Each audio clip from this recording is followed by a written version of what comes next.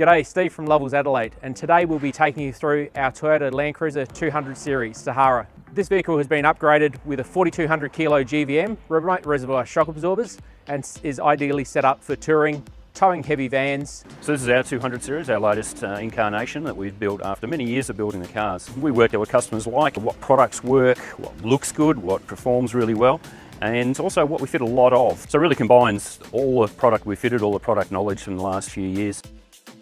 Trying the new Lazer light bars, for example. This one's uh, connected to the CAN bus, picks up the speed, and it can vary the actual beam width and length, and also has a low mode as well, a bit like a really intense fog light.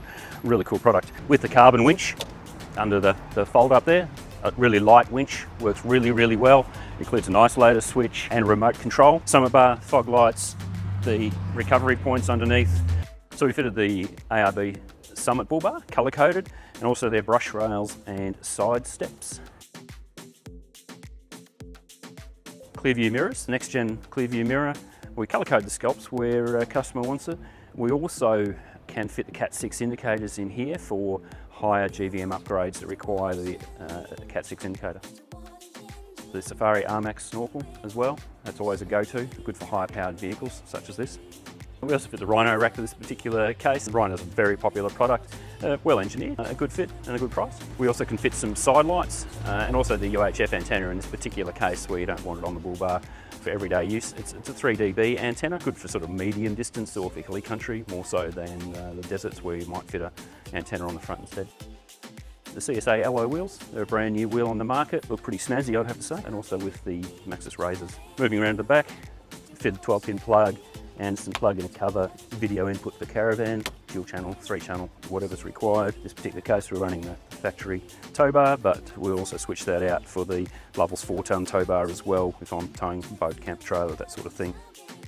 Inside,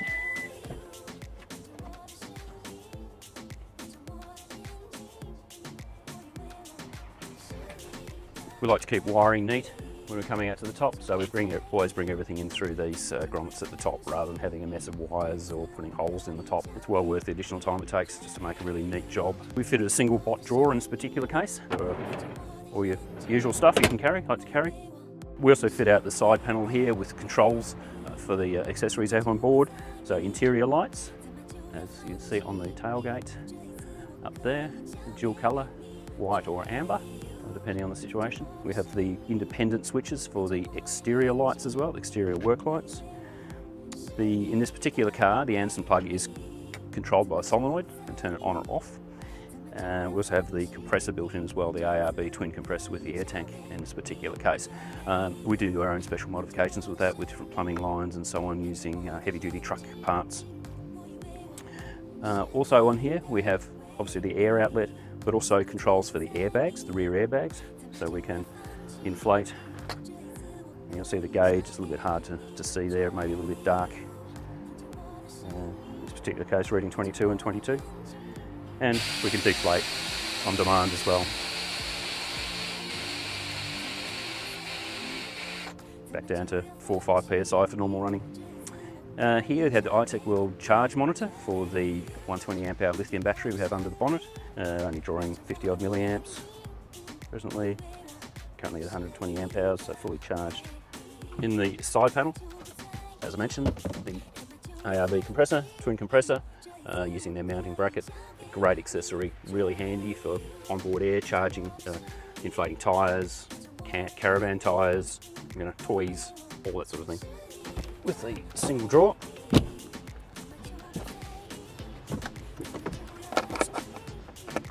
We can still run it as a six-seater. Pretty handy for uh, getting an extra family member in occasionally.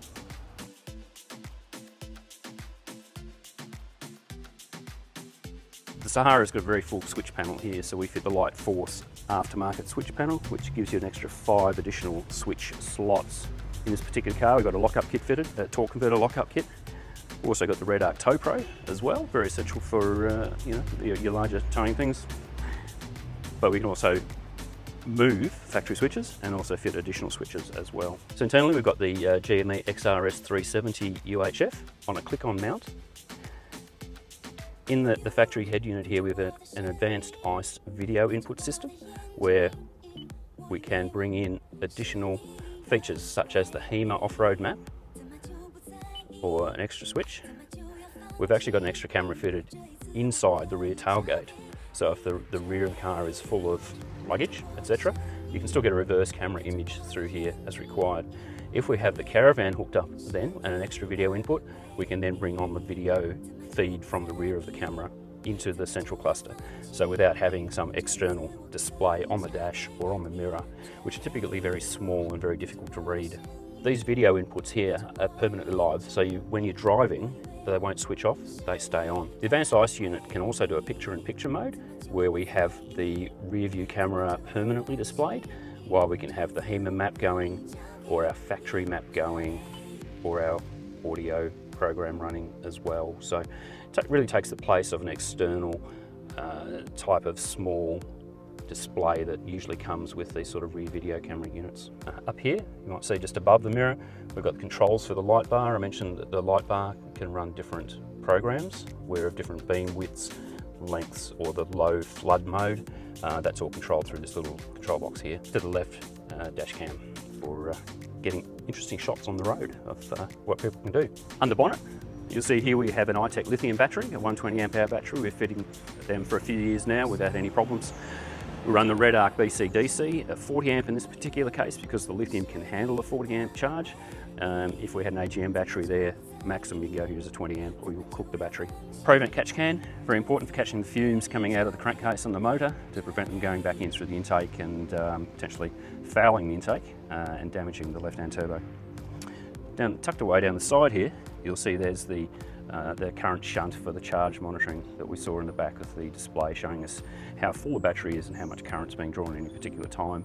With the carbon winch I mentioned there was an isolator switch, uh, there it is just located just in there so we can turn it on or off, isolate it as required, make sure no one can play with it externally. If you've got any questions in regards to this model or your own model, or if you've already got a GVM and you've got questions in regards to it, please leave a comment below or give us a call.